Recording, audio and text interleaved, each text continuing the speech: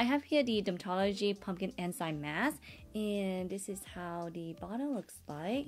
It is a nourishing, self-warming, deep cleansing mask combines minerals, enzymes, and vitamins to improve the appearance of pore size, cleanse, hydrate, and rejuvenate the skin. So I'm going to massage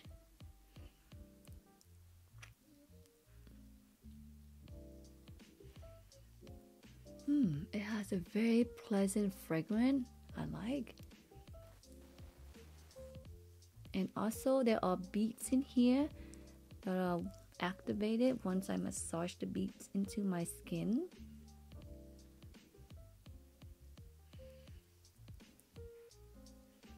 The beads in here is supposed to give out a very warm sensation, but I don't feel anything that's warm. The texture of this mask is very smooth, very silky. It feels really smooth on my skin. And even the beads are very gentle on my skin.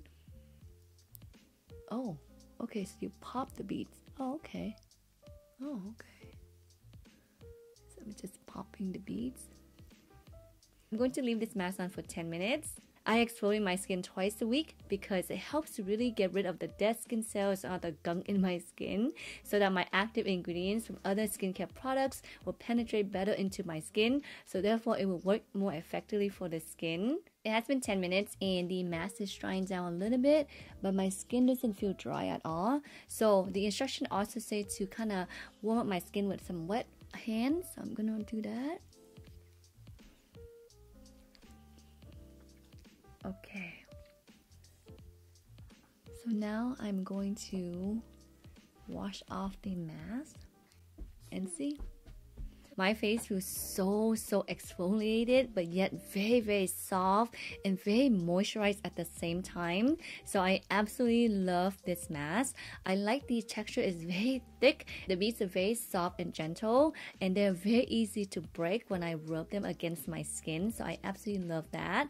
The fragrance is very gentle. I like the smell of it as well. Overall, I love this mask. Um, yeah, I'm definitely going to continue using it. Let me know if you like this mask or have you tried it. Otherwise, thank you so, so much for watching and I'll see you next time. Bye.